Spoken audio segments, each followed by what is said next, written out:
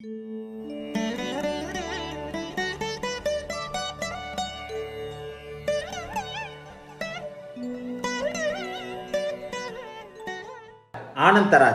ஆனந்தராஜ் ஐயா வணக்கம். லக்ன அவயோகர்கள் நீச்சபங்க ராஜயோகம் அடைந்தால் நன்மை தருமா? தராது. லக்ன அவயோகர் இதை தான் நீங்கள் வந்து கொஞ்சம் கொஞ்சம் கன்ஃபியூஸ் ஆவீங்க. லக்ன அவயோகர்கள் நீச்சபங்க ராஜயோகம் அடைந்தால் நன்மை தருமா? உண்மையில் சில கிரகங்கள் நீச்சம் அடைவது ஓரளவிற்கு நன்மை. நானே சொல்கிறேன் எனக்கு அந்த கிரகம் நீச்சம் அடையக்கூடாதுன்னு சொல்லிட்டு. எல்லாவற்றிற்கும் கத்தி ஆப்பிளையும் நறுக்கும் கழுத்தையும் அறுக்கும். இரண்டு விதமாகத்தான் நீங்கள் ஜோதிடத்தை புரிந்து கொள்ள வேண்டும்.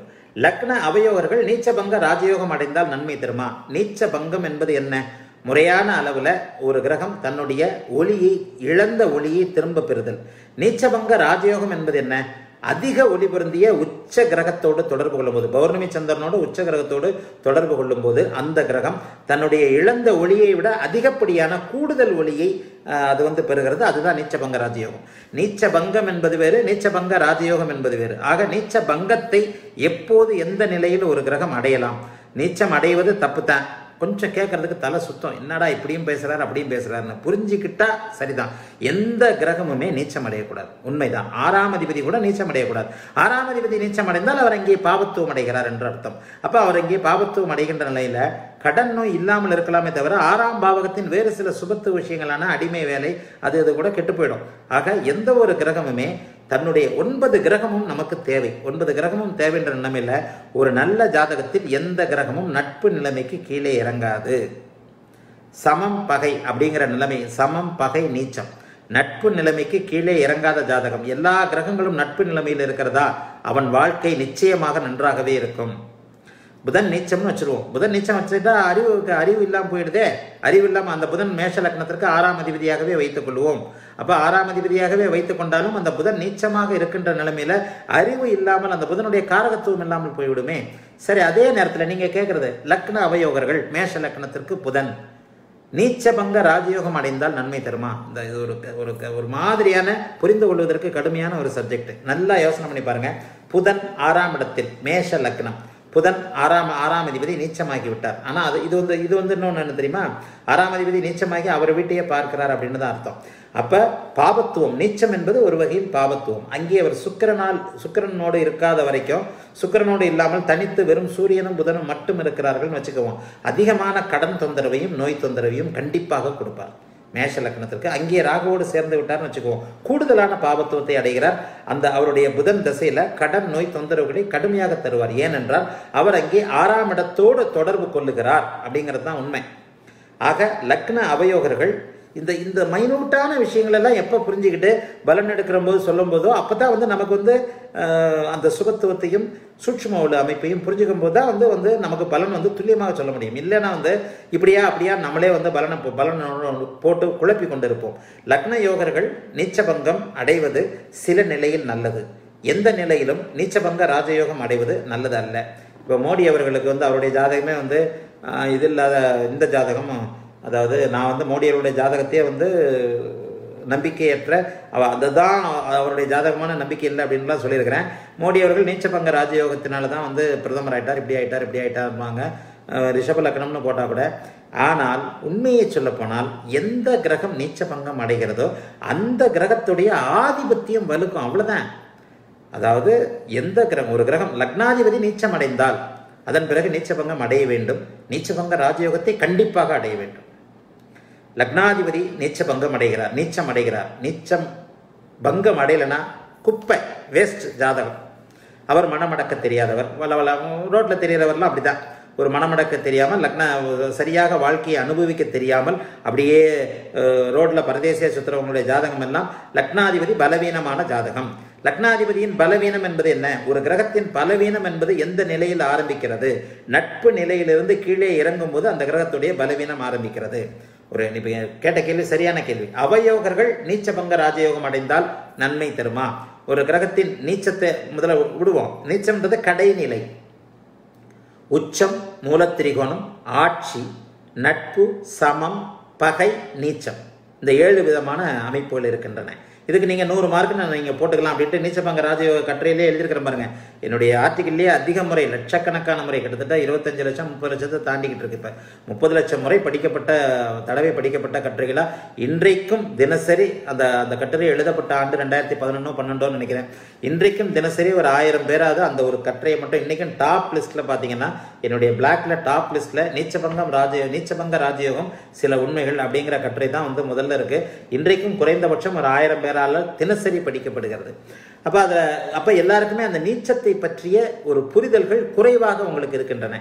ஒரு கிரகத்தின் உத் உன்னத நிலை உச்சம் என்று சொல்லப்படுகிறது. அதனை அடுத்த நிலை மூலத்திரிகோணம் அதனை அடுத்து ஆட்சி அதனை அடுத்து நட்பு சமம் பகை நீச்சம். அப்ப அந்த நட்புக்கு கீழே குறைந்தால் ஒரு கிரகம் நீச்ச பலவீனத்தை அடைகிறது. ஒரு கிரகம் பலவீனம்ன்றது இப்படித்தான். ஒரு கிரகம் எப்போதெல்லாம் பலவீனம் அடைகிறது ஒரு சப்ஜெக்ட் எடுத்துக்கிட்டோம்னா அது அது சார்ந்த சப்ஜெக்ட்டுக்கு தான் நம்ம போக வேண்டியிருக்கு. ஒரு கிரகம் எப்போது பலவீனம் அடைகிறது நட்பு நிலையை விட்டு கீழே இறங்கும்போது பலவீனம் அடைகிறது நட்பு நிலையை விட்டு கீழே இறங்கினா அது என்ன ஆகும் சமநிலைக்கு வரும். சமத்தை அடுத்து பகை நிலைக்கு வரும். பகை நிலை அடுத்து நீச்ச நிலைக்கு வரும். இந்த மூன்றுமே நிச்சயமாக அந்த கிரகத்தை பலவீனப்படுத்துகின்ற ஒரு அமைப்புகள். அடுத்து என்ன பண்ணும்? கிரகணம் அடையும் பாவருடன் சேரும். பாவர் பார்வை பெறும். அஸ்தமனம் அடையும் அதைத்தான் சொல்றது பகை நீச்சம் அஸ்தமனம் கிரகம் கிரகணம் அப்படின்னு சொல்லிட்டு மூல நூல்களில் சொல்லப்படுது. அப்ப இவை எல்லாமே வந்து பலவீன நிலைமை. அதே கிரகம் கேந்திர கோணத்தில் இருந்தால் அந்த பகை நீச்ச நிலையில இருந்து சற்று கூடுதலான வலிமையை பெறும். இதைத்தான் ஷட்பலம் அப்படி இப்படின்னு சொல்றோம். இந்த ஷட்பல வர்க்கத்தில் வருது பார்த்தீங்களா கிரக பலத்தை குறிக்கிறது எல்லாமே. அதெல்லாமே கொஞ்சம் புரிஞ்சுக்கிட்டா கம்ப்யூட்டரே தேவையில்லாமல் நம்மளே ஒரு கிரகம் ஆறு எட்டு பன்னிரெண்டில் மறையக்கூடாது. ஆறு எட்டு பன்னிரெண்டில் மறைந்தாலும் பகை நீச்சம் இருக்கக்கூடாது. பகை நீச்சத்தில் இருந்து விட்டாலும் சனி செவ்வாயோடு பாவருடன் குறிப்பாக ராகுவுடன் சேர்ந்து கிரகணம் ஆகக்கூடாது அப்படியே அந்த அமைப்பில் அதனை அடுத்து சூரியனுடன் சேர்ந்து அஸ்தமனம் அடைந்திருக்கக்கூடாது. இத்தனையும் எல்லாத்தையுமே ஒரு கிளாரிட்டியாக பார்த்தா தானே ஒரு கிரகத்துடைய பலம் எந்த லெவலில் இருக்குன்றதை புரியும். எல்லா கிரகங்களும் ஸ்பைரல் காலக்சி தனித்தனியாக சுய இயல்போடு இருக்கின்ற கிரகம் ராஜயோக ஜாதகம்னு தான் சொல்கிறேன் அப்போ இந்த அமைப்பில் அவயோகர்கள் ஆறு எட்டு பன்னெண்டு ஒரு கிரகத்திற்கு ஆகாதவர்கள் ஒரு லக்னத்திற்கு ஆகாதவர்கள் நீச்சபங்கம் அடையலாமா? நீச்சபங்கம் அடையணும். நீச்சபங்க ராஜயோகத்தை அடையக்கூடாது. அதிக உயர்நிலையை அடையக்கூடாது. சரி நீச்சபங்கம் என்பது என்ன? ஒரு கிரகத்திற்கு ஒரு பத்து பன்னிரெண்டு விதிகள் சொல்லியிருக்கிறேன். அந்த நீச்சபங்க ராஜயோகம்னு ஒரு ஆர்டிக்கல் ஒரு வீடியோ போட்டிருக்கிறேன். அதை போய் பாருங்கள் நீச்சபங்க ராஜயோகம் சில உண்மைகள் அல்லது நீச்சபங்க ராஜயோகம்னு டைட்டிலே ஒரு வீடியோ இருக்குது அது எப்போது எப்படிப்பட்ட அமைப்பில் இருக்கணும் அப்படின்னு சொல்லிட்டு. நீச்சபங்க ராஜயோகத்தை அடைய வேண்டும் என்றால் கேட்டவங்க ரெண்டு பேருக்கும் கேட்ட இந்த கேள்வியை கேட்ட ஆனந்தராஜ் உங்களுக்கு இந்த நீச்ச பங்கத்திற்கும் நீச்சபங்க ராஜயோகம் அப்படிங்கிற அமைப்புக்குமே உள்ள வித்தியாசம் தெரியுமா தெரியாதான்னு எனக்கு தெரியல. நீச்சபங்கம் என்பது இழந்த தன் சுய ஒளியை திரும்ப பெறுதல்.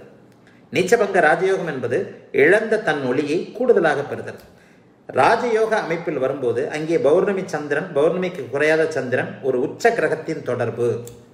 உச்ச கிரகத்தின் தொடர்பு. அதாவது அங்கே பாபராக இருந்தாலும் சூரியன் நீச்சமாக இருக்கிறார். அங்கே பக்கத்தில் சனி அவருடன் சேர்ந்து விட்டார். நிச்சயமாக சூரியன் ஒரு ஒரு விதமான உச்ச வலுவை அடைந்து விட்டார். ஆனால் பாபத்துவம் அடைந்து விட்டார். ஏன்னா சனியின் இயற்கை குணம் அது. சனியின் இயற்கை குணம் தன்னை நெருங்குபவரை பாபத்துவப்படுத்துதல். ஆக சூரியன் இழந்த வலுவை திரும்ப பாபத்துவமாக பெறுகிறார். அங்கே மிதனத்தில் இருந்து குரு பார்த்துட்டார். சுபத்துவமும் அடைந்து விட்டார். சூரியன் உச்சமாகி. சூரியன் தான் இங்கே உச்சம். இப்போ நீச்சபங்க ராஜயோக அமைப்பில் இருக்கின்ற வேறொரு நிலை என்ன? காளிதாசரே சொல்லுகிறார். உச்சனுக்கு நீச்சனுக்கு அருகில் இருக்கின்ற உச்சன் சூன்ய பலத்தை அடைகிறான். அதற்கு என்ன அர்த்தம்? அந்த உச்சனிடமிருந்து ஒளியை கடன் வாங்கித்தான் அந்த நீச்சன் தன்னுடைய சுய ஒளியை திரும்ப பெறுகிறான் அப்படின்னு அர்த்தம். ஆக எப்பொழுதெல்லாம் ஒரு உச்ச கிரகம் பௌர்ணமி சந்திரன் அல்லது பௌர்ணமிக்கு குறையாத ஒளித்திறனுடைய சந்திரனோடு உச்சனோடு சேர்ந்து இருக்கின்ற அமைப்பில் உச்சனால் பார்க்கப்படுகின்ற அமைப்பில் உதாரணமாக குரு உச்சம் குரு உச்சம் புதன் நீச்சம் குருவே பார்ப்பார் வீடு கொடுத்தவர் உச்சமாவார். அது நீச்சபங்க ராஜயோகம். சுக்கிரன் அங்கேயே இருக்கிறார். மீனத்தில் சுக்கிரன் புதன் நீச்சபங்க ராஜயோகம் சுக்கிரன் இல்லை. குரு உச்சமாக இருக்கிறார். உச்சகுரு தன்னுடைய ஐந்தாம் பார்வையால் புதனை பார்ப்பார். நீச்சபங்க ராஜயோகம் வெறுமனே குருவும் புதனும் நீச்ச பங்கம் சந்திரனுக்கு கேந்திரத்தில் புதன் இருக்கிறார். நீச்ச பங்கம் மட்டும். சந்திர கேந்திரத்தில். நீச்ச பங்கம் மட்டும் அடைந்திருக்கிறார்னு அர்த்தம். அங்கே. இது போன்ற ஒரு பத்து பன்னிரெண்டு விதிகளை நான் சொல்லியிருக்கிறேன் பாருங்க. அதை போய் தேடி படிச்சு பாருங்க. டக்கு டக்கு டக்கு டக்குன்னு எல்லாத்தையும் வந்து ஒரே நேரத்தில் ஒட்டு மொத்தமாக குவிக்கிற அளவுக்கு நான் ஒன்றும் பெரிய பிரில்லியன்ட்லாம் கிடையாது. பத்து பன்னிரெண்டு விதிகள் இருக்கின்றன. நீச்சனை நீச்சன் பார்த்தல் நீச்சன் வக்ரமாகுதல் நீச்சன் சந்திரகேந்திரத்தில் நீசனுக்கு வீடு கொடுத்தவன் சந்திரகேந்திரத்தில் இருத்தல் அந்த நீசல் நீசனே வந்து சந்திரகேந்திரத்தில் இருத்தல் நீசனுக்கு ஆட்சி ஆட்சி வீட்டுக்காரன் அதே வீட்டில் இருக்குதல் உச்சன் அங்கே இருக்குதல். பௌர்ணமி சந்திரன். நே சந்திரகேந்திரத்திலே நாலு ஏழு பத்தில் இருக்கு இல்லையா? ஒன்று நான்கு ஏழு பத்தில் இருக்கு இல்லையா? அதில் வந்து நேருக்கு நேராக ஏழாம் இடத்தில் பௌர்ணமிக்கு பக்கத்தில் இருக்கின்ற சந்திரனாக இருத்தல் இதெல்லாம் வந்து நீச்ச நீச்ச பங்கத்தையும் நீச்ச பங்க ராஜயோகத்தையும் வகைப்படுத்தி காட்டுகின்ற ஒரு வகைகள். ஆக எந்த கிரகமும் நீச்சமடைய நட்பு நிலைமைக்கு கீழே இறங்கக்கூடாது. நட்பு நிலைமைக்கு கீழே இறங்கிட்டா அது நீச்ச பங்கம் அடையலாம் நீச்ச பங்கம் இதில் இந்த முக்கியமாக நல்லதாக கரெக்டாக வந்து புரிஞ்சிக்க வேண்டியது என்னென்னா நீச்ச பங்கம் அடைந்த கிரகம் தன்னுடைய காரகத்துவத்தையும் தன்னுடைய ஆதிபத்தியத்தையும் தரும். லக்னாதிபதி நீச்சபங்கம் அடைந்திருந்தார். நீச்சபங்க ராஜயோகத்தை அடைந்திருந்தார். முதலில் அந்த மனிதனின் வாழ்க்கையை இளமையை கெடுத்து முதுமையில் நல்ல வாழ்க்கையை தருவார். நீச்சம் என்பது என்ன? முதலில் ஒளி இழந்த நிலை. பின்பு ஒளி அதிகப்படுத்தி அதிகப்பட்ட நிலை. ஒரு மனிதன் எண்பது வயது வரைக்கும் வாழ்றான். எழுபத்தி ஐந்து வயது வரைக்கும் வாழ்வதற்கு விதிக்கப்பட்டவன். அவனுடைய முப்பத்தி ஏழு முப்பத்தி எட்டு வயது வாழ்க்கை லக்னாதிபதி நீச்சமானதால் இளமையில் கஷ்டமாக இருந்திருக்கும். நிச்சயமா செக் பண்ணி பாருங்க. உங்களுக்கு தெரிஞ்சவங்களுடைய ஜாதகத்தை பாருங்க. போராட்டமான வாழ்க்கையாக இருந்திருக்கும். அவனுடைய அந்த அடுத்த பாதி வாழ்க்கை அவர் லக்னாதிபதியாகி நீச்சபங்கமாக இருக்கிறதுனால நிச்சயமாக அதற்கடுத்து படிப்படியே ஒரு உச்சநிலையை போய் போய் நிச்சயமாக செய்- செல்வார். இதுதான் விதி. இரண்டாம் அதிபதி நீச்சபங்கமாகிவிட்டார். நீச்சபங்க ராஜயோகத்தில் இருக்கிறார். தனம் வாக்கு குடும்ப ஆதிபத்தியங்கள் நன்றாக இருக்கும். அங்கே அவருக்கும் லக்னாதிபதிக்கும் சம்பந்தப்படக்கூடாது. ஆறாம் அதிபதி நீச்ச நீங்கள் கேட்டது என்ன? அவயோக கிரகங்கள் நீச்சபங்க ராஜயோகம் அடைந்தால். ஆறாம் அதிபதி நீச்சபங்க ராஜயோகத்தை அடைந்து விட்டார். தொலைஞ்சது. கடனிலேயே வாழ்வோம். அதே நேரத்தில் அவர் சுபத்துவமாக இருக்கிறார். கடன்கள் இருந்து கொண்டே இருக்கும். தொல்லைப்படாமல் இருக்கும். ஆரோக்கியம் குறைவாகத்தான் இருக்கும். மாத்திரை சாப்பிட்டா கட்டுப்படி ஆகும். நோய் இருக்கும். நோய் இருந்துதான் தீரும். எந்த கிரகம்? அவயோக கிரகம்னு வந்துட்டாலே ஆறு எட்டு பன்னெண்டு. எட்டாம் அதிபதி நீச்ச பங்க ராஜயோக அமைப்பில் இருக்கிறார். உயர்நிலை ஆயுள் உண்டு. அதே நேரத்தில் அசிங்கம் கேவலமும் உண்டு. உயர்நிலை ஆயுள் எண்பது வயசு வரைக்கும். ஏன்டா இருக்கிறோம்னு இருக்கிற எண்பது தொண்ணூறு வயசு உயர்நிலை ஆயுள் கண்டிப்பாக உண்டு. எட்டாம் இடத்தின் அந்த ஆதிபத்திய அத்தனை அமைப்புகளையும் அவர் செய்வார். எப்படி எப்படி காரகத்துவங்களாக பிரித்து செய்வார் அப்படிங்கிறதுல தான் நீங்கள் உள்ளே போகணும். ஆக எந்த கிரகம் நீச்சபங்கத்தையும் அல்லது நீச்சபங்க ராஜயோகத்தையும் அடைகிறதோ அந்த கிரகம் தன்னுடைய ஆதிபத்தியத்தை தான் எடுத்து செய்யும். நீச்சபங்க. பெரும்பாலும் என்ன நினைச்சிட்டீங்க நீச்சபங்க ராஜயோகம் எனக்கு இருக்கு. அடிக்கடி ஜோதிடத்தை புரிந்து கொள்ளாதவர்கள் ஜோதிடத்தை மேலோட்டமாக புரிந்து கொண்டவர்கள் தான். செவ்வாய் வந்து நீச்சபங்க மிதன லக்கணம். செவ்வாய் வந்து நீச்சபங்க ராஜயோகத்தில் இருக்கிறாருன்னு வச்சுக்குவோம். அப்போ செவ்வாய் வந்து எனக்கு வந்து என்னுடைய என்னுடைய வந்து ஜாதகத்தில் வந்து கேட்பார் சே- எனக்கு வந்து செவ்வாய் வந்து எப்போங்க செவ்வாய் நீச்சபங்க ராஜயோகத்தில் இருக்கிறார். எப்போ வந்து அந்த நீச்சபங்க ராஜயோகம் வேலை செய்யும்னு கேட்பார் எப்படி வேலை செய்யும்? கடனில் தான் வேலை செய்யும். ஆறாம் அதிபதி இல்லையா? அவயோகர்கள் எந்த ஒரு நிலையிலையும் நீச்சபங்க ராஜயோகத்தை அடையக்கூடாது. அப்படி அடைவது மிகப்பெரிய நல்ல பலன்களை நிச்சயமாக செய்யாது. அதற்கு எந்த ஒரு கிரகம் நீச்சபங்க ராஜயோகத்தை அடைகிறதோ அந்த ஆதிபத்தியத்தையும் காரகத்துவத்தையும் முழுமையாக சற்று கூடுதலாக தரக்கூடிய அமைப்பில் வந்து விட்டார் அப்படின்னு தான் அர்த்தம். புதன் சரி அப்போ அப்படியே காரகத்துக்கு வந்து வந்துருங்க வந்துருங்க. நல்லா பாருங்க. நீச்சபங்கம் நீச்சபங்க ராஜயோகத்தை அடைந்திருக்கிறார் செவ்வாய். தைரியமான ஆளாக இருப்பீங்க. முதலில் கோழையாக இருந்திருப்பீர்கள். ஒரு பருவத்திற்கு பிறகு சில வாழ்க்கையில் அடிபட்டதுக்கு பிறகு வாழ்க்கையில் வந்து ஒரு தைரியம் இது கஷ்டத்துக்கு பிறகு தைரியம் வந்துடுது இல்லையா? கஷ்டத்துக்கு பிறகு அந்த தைரியம் துடிப்பு இது வர வரதை பார்த்துக்கலாயா பக்குவம் அடைந்திருப்பீர்கள். புதன் நீச்சபங்க ராஜயோகத்தில் இருக்கிறார். ஆரம்ப கல்வி கிடைத்திருக்காது. கல்வியில் கொஞ்சம் அக்கறை இல்லாமல் இருந்திருப்பீர்கள். படிக்கும் சூழல் இருந்திருக்காது. படிக்கும் சூழல் இருந்திருக்காது. கல்வியில் கொஞ்சம் இதான அமைப்பு. அதன் பிறகு சுதாரித்து கொண்டு ஏதேனும் ஒரு துறையில் நிபுணத்துவமாக இருப்பீர்கள். கணக்க புதன் சம்பந்தப்பட்ட துறையில். காரகத்துவத்தையும் ஆதிபத்தியத்தையும் இப்படி தான் நீங்கள் இணைச்சு பார்க்கணும். சந்திரன் நீச்சபங்க அமைப்பாக இருக்கிறார். தாய் அமைப்பை அப்படியே இது பண்ணிக்கோங்க. பிற்பகுதியில் தாய் வந்து மிக நிறைவான ஒரு அமைப்பால் இருக்கிறார். ஆரம்பத்தில் தாயின் அமைப்புகள் அத்தனையுமே கெட்டுவிட்டன. நீச்சமாகித்தான் வந்து அப்புறமா பங்கமாகி ராஜமா ராஜயோக அமைப்புகளை கொடுக்கும். அந்த அந்த கிரகத்துடைய ஆதிபத்தியத்தையும் கூடவே சேர்ந்து கொடுக்கும். ஆகவே எப்போது ஒரு கிரகம் ஆதிபத்தியம் திருப்பி திருப்பி திருப்பி திருப்பி அதில் தான் வந்துடுவேன் ஆதிபத்தியத்தையும் காரகத்துவத்தையும் கரைச்சி குடிச்சிடணும். அது சில சில வீடியோக்கள் சில வீடியோக்கள்லாம் போட்டிருக்கோம். ஆனால் எல்லாத்தையும் வீடியோக்களாகவே போட்டுற முடியாது. எழுத முடியும். பல நூல்கள் அதாவது ஏகப்பட்ட நூல்கள் படிக்கிறீங்க. அப்போ அந்த ஏகப்பட்ட நூல்கள் படிக்கும்போது அந்த அந்த இதுலேயே சரி சரியான இதுகளில் வந்துக்கிட்டே இருக்கணும் அப்படியே. ஆக ஒன்றாம் ஆதிபத்தியம் இரண்டாம் ஆதிபத்தியம் ஆறாம் ஆதிபத்தியம் பன்னிரெண்டாம் ஆதிபத்தியம் அந்த ஆதிபத்தியங்களுக்குள்ள விஷயங்கள் என்ன? இப்போ நீங்கள் கேட்ட அவயோகர்கள். அவயோகர்கள்ன்றதே இப்போ நான் சொல்ல சொல்ல சொல்ல சொல்ல உங்கள் மனசில் பதிஞ்சிருச்சுன்னு தான் அர்த்தம். அப்போ அந்த அவயோகர்களை நாலு பக்கமாக சிம்பிளாக கூட பிரிச்சுக்கலாம். சுக்கரன் சனி புதனில் பிறந்துட்டிங்கன்னா சூரியன் சந்திரன் செவ்வாய் குரு நான்கும் வந்து அவயோகர்கள் அப்போ அந்த அவயோகர்களுக்கான ஆதிபத்தியம் என்ன? காரகத்துவம் என்ன? நல்ல காரியத்தை கார இதே வந்து நானே இன்னொன்று சொல்லிடுறேன்ல எந்த சூழ்நிலையிலும் குருவும் சுக்கிரனும் ஒருத்தருக்கு கிடக்கூடாதுன்னு சொல்லிடுவேன். இப்போ இந்த குருவும் சுக்கிரனும் ஒருத்தருக்கு கிடக்கூடாதுன்னா அப்போ என்ன அர்த்தம்? சுக்கரன் அவயோகரானாக ஆகராக இருந்தாலும் அவருக்கு கிடக்கூடாது. குரு அவயோகராக இருந்தாலும் அவருக்கு கிடக்கூடாது. ஒரு பேசிக்கான சில விஷயங்களை சொல்கிறேன்ல ஒளிக்கிரகங்களும் குருவும் சுக்கிரனும் கிடவே கூடாது. ஒளிக்கிரகங்கள் என்பது என்ன? சூரியனும் சந்திரனும் ஒளிக்கிறங்கனால தான் அவங்க தானே அப்பா அப்பா அப்பா அப்பா அம்மா இல்லாமல் நம்ம வந்து இல்லை அப்போ ஜோதிடத்தை வந்து அந்த சில பேர் இது பண்ணுவாங்க. எந்த சூழ்நிலையிலேருந்து பார்த்தாலும் அப்படியே வளைச்சிக்கிற மாதிரி வருது ஜிக்ஜாக்கா வருது என்னமோ ஜிம்மியாக என்னமோ ஒரு வார்த்தையை யூஸ் பண்ணுவாங்க. அந்த மாதிரி ஜோதிடம் வருது. ஆமாம் உண்மைதான். ஆனால் புரிந்து கொண்டவர்கள் புரிந்து கொண்டால் சொல்லக்கூடிய சொல்லக்கூடிய விதயத்தில் நான் சொல்கிறத நீங்கள் புரிஞ்சுக்கிட்டீங்கன்னா நிச்சயமாக வந்து அந்த ஏ இதற்காக இந்த இப்படிப்பட்ட ஒரு மாபெரும் தேவ ரகசியமாக சொல்லப்படுகின்ற சாஸ்திரம் எதற்காக இப்படி சொ- இப்படி சொல்லப்படுகிறதுன்றது நல்லா புரியும். ஆகவே எந்த ஒரு நிலையிலும் அந்த சூரியன் சந்திரன் குரு சுக்கிரன் இந்த நான்கு முனைகளும் வலிமையாக இருக்கின்றவர்கள். அவர்கள் அவயோகர்களாக இருந்தாலும் பரவாயில்ல.